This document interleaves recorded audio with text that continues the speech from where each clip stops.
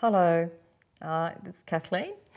I'm extremely humbled and extremely grateful for being pardoned and released from prison. My eternal gratitude goes to my friends and family, especially Tracy and all of her family, and I would not have survived this whole ordeal without them. Today is a victory for science and especially truth. And for the last 20 years I have been in prison, I have forever and will always think of my children, grieve for my children, and I miss them and love them terribly. Thank you.